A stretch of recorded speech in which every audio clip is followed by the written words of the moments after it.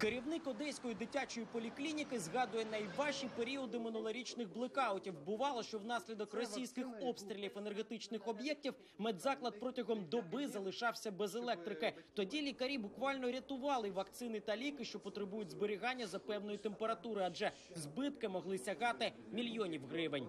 Це дороговартісна історія. Вона потребує завжди електрики. І от саме побоювання через блекаути, через всі ці моменти, які ми е, пережили ці речі, це таке за- запам'яталося, думаю, на все життя. Але тепер поліклініці подібна ситуація не загрожує. На даху побудували гібридну сонячну електростанцію. За рахунок сонця вона виробляє 30 кВт електрики, ще 40 накопичує в спеціальних акумуляторах. Вже зараз станція суттєво економить закладу кошти та зробила його майже повністю енергонезалежним. І коли, наприклад, там пахмурна погода чи щось таке, в цей час підключаються акумуляторні батареї і додає того, чого не вистачає.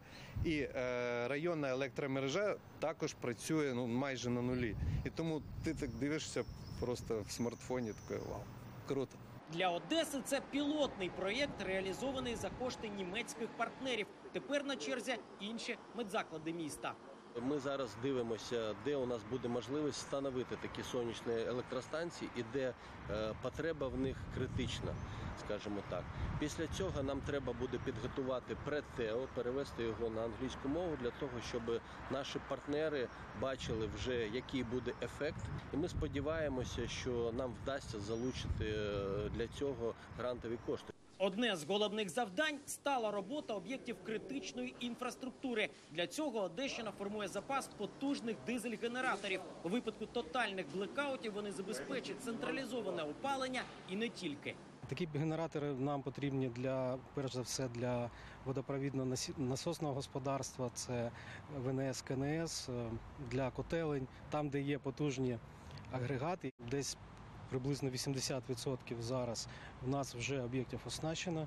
Водночас у регіоні реалізуються пілотні проекти так званої когенерації. Це коли котельня, приміром, за допомогою одного і того ж газу може і воду нагрівати, і електроенергію виробляти, і цією ж електрикою живити власні насоси. Таке обладнання вже встановлюють на великих об'єктах ЖКГ.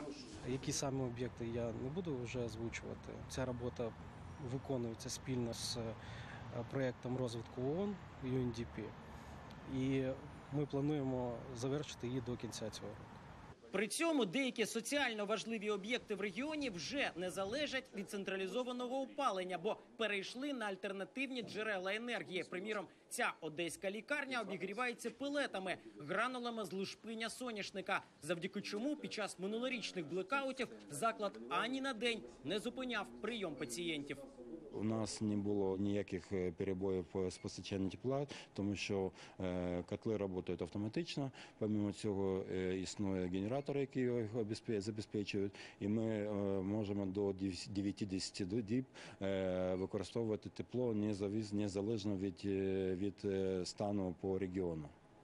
На пелети перейшли в селі Васильівка під Одесою. Спочатку нову технологію обкатали на місцевій школі, і ось зараз будують таку ж котельню для дитсадка. Взагалі у регіоні один з пріоритетних напрямків це поступова відмова від таких проблемних видів палива, як газ та вугілля. На альтернативні джерела на Одещині перейшли вже 15% усіх котелень.